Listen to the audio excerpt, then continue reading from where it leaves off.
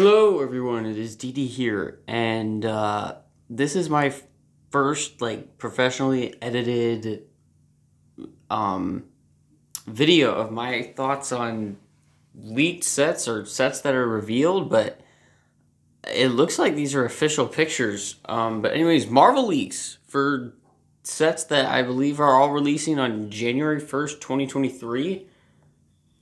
Uh these are got like I, I really wish I could have gotten the look on my face when I saw that Ghost Rider mech, dude.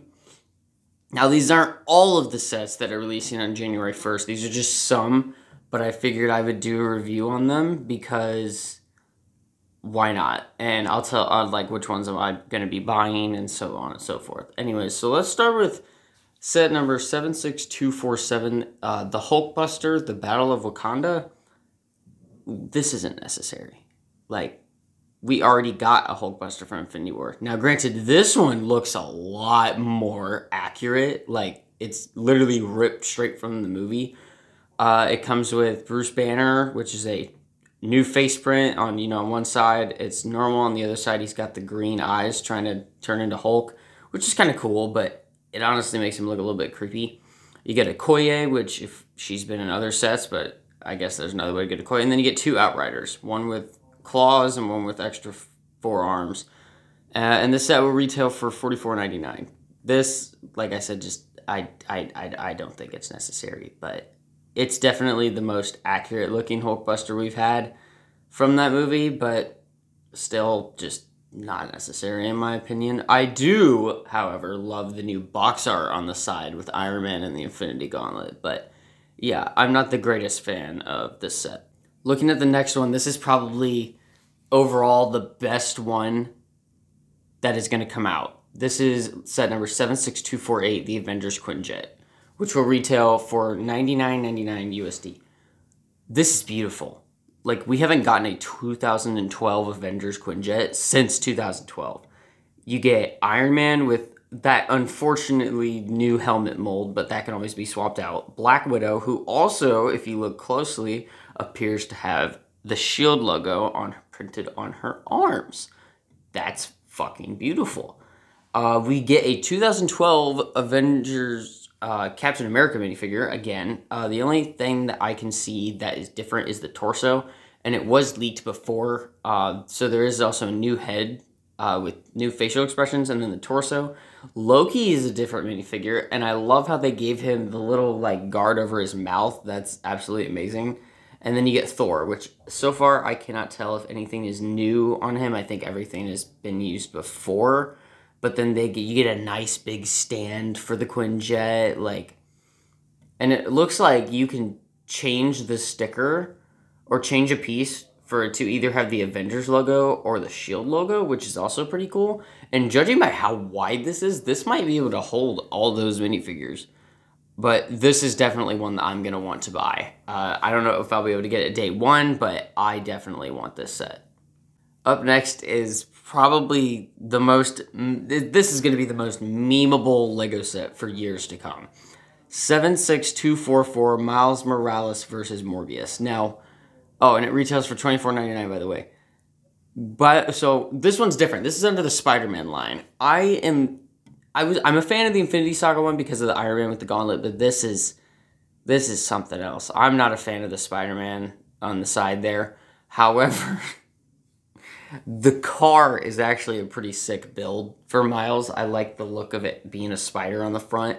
However, he's not to have a car. He's never had a car. Um, but the main reason people are going to buy this set is for the Morbius minifigure, and that's why I will be buying it. But let's but before we get into that, like look at the back of the car. Is that a new molded piece for the engine? Because if so, that's freaking sick.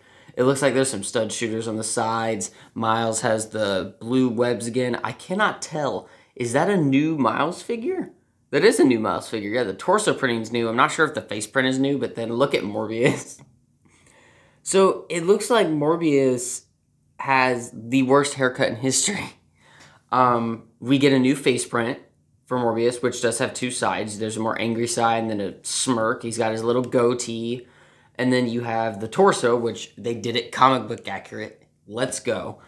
Um, so that's just beautiful. Like literally, all you gotta do is swap the hairpiece, and he's pretty much good. And if you really want to make it accurate, you give him the bat wings. I was really hoping they were gonna give Morbius the wings mold from the uh, from Man-Bat, but make like the wings like red. But hey, I guess I couldn't get my hopes up too much. Then you get a couple of bats, and then it looks like these are glasses with blood or they're blood bags. I don't know what they're. He's holding them upside down, so I'm starting to think they're actually like vials, you know, like lab vials. Like one's full of blood, and then the other there's another one that's purple. So I don't know what that one is. I'm sure the Lego set descriptions will just like explain it, but this is definitely one I'm picking up day one. Okay, now this is the one I saved for last because I have been waiting for this to come out for so freaking long. 76245 Ghost Rider Mech and Bike, which will retail for 34.99 USD. I'm definitely getting this day one. So let's go ahead and start off with the minifigure.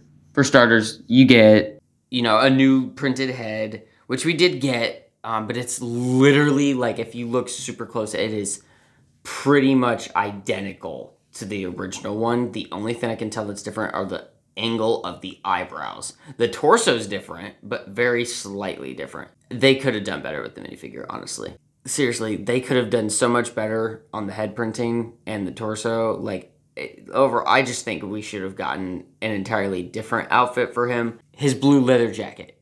Give it, like, they should have given us that. And then his mech could have been based off of that as well. I feel like the highlight of this set is the freaking bike build. Like, this is, this is insane.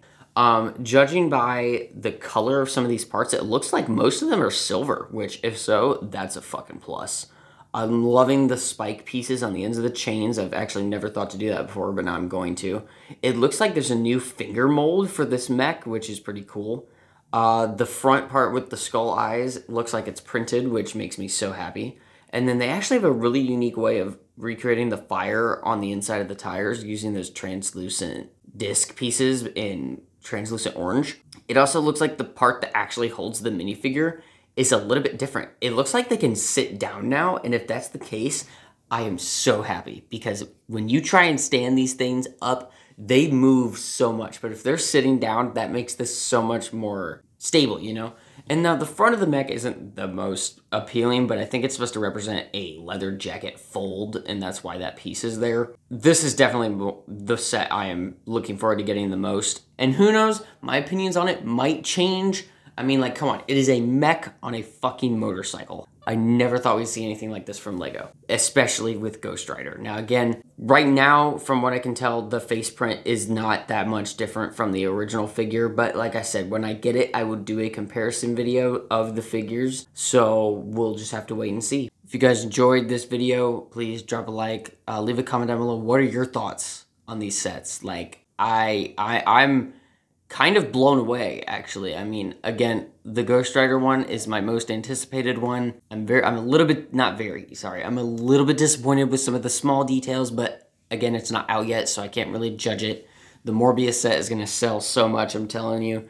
And that Quinjet is absolutely beautiful. That is definitely the best to come out of this new wave. Anyways, go ahead and hit the subscribe button, turn notifications for every time I video. Peace out, guys, and I will see you in the next one. Bye for now.